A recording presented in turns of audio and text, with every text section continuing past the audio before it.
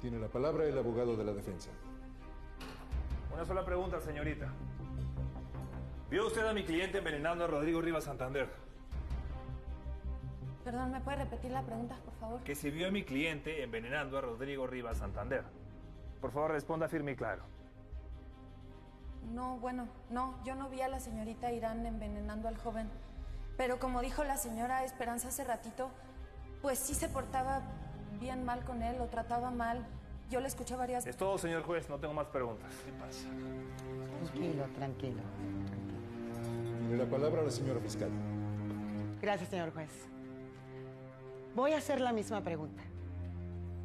Y le suplico que continúe con su respuesta. ¿Vio usted a la acusada envenenando a Rodrigo Rivas Santander? No, pues tanto como verla, no. Pero yo sé que le deseaba la muerte. ¿Qué, qué, eh? ¡Eso es mentira! ¡Es una vil mentira! Esa señora es empleada del hombre que me está acusando. Obviamente compraron su testimonio. No, no es cierto. Procuro que su defendida guarde silencio o me veré obligado a pedir que la saquen de la sala. Claro que sí, señor juez, discúlpenos, por favor. Sí, mejor. Por favor, continúe. Es todo lo que le puedo decir.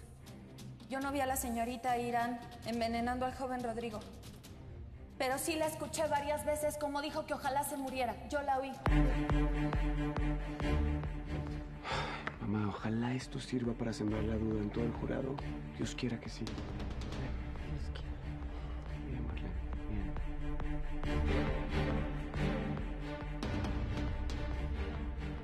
¿Qué estás haciendo aquí? ¡Fuera! ¡No te quiero ver! A ver, Angustias. Olvido tiene algo importante que decir. Sí, importante. Escúchala. ¿Qué? ¿Qué tiene de importante que decirme? No la quiero ver. Largo de aquí. Angustias, yo sé que probablemente soy la última persona que quisieras ver en este momento, pero en realidad me interesa saber cómo está Vanessa. Ah, ¿te Y quiero interesa? agradecerle lo que está haciendo. ¿Agradecer? ¿Agradecer qué? No tienes nada que agradecerle a mi hija. Nosotros no tenemos nada que agradecerte a ti. Va- ¡Fuera! Vanessa tuvo un acto de generosidad muy, muy importante con una amiga muy querida. Y quiero agradecerle. Estoy dispuesta a cubrir los gastos de hospitalización y de todo lo que sea Ay, ¿de necesario. verdad? Qué linda. Qué bondadosa eres.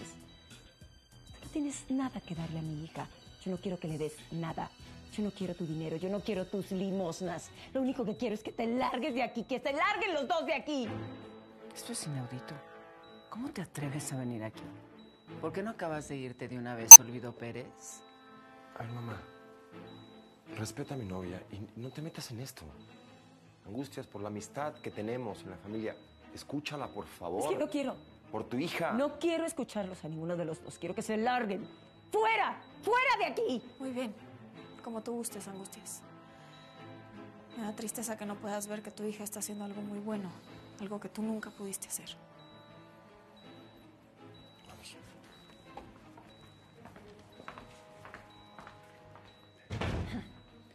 Qué bueno que no aceptaste el dinero de esa malnacida.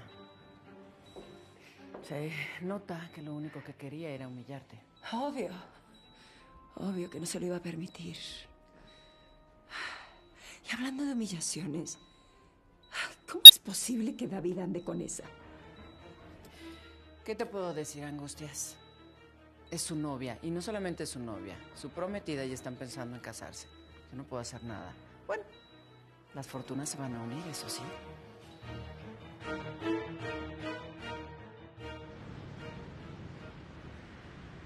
Cuando yo llegué ya, ya estaba el tirado. Claro, por eso estaba la puerta abierta. El asesino ya había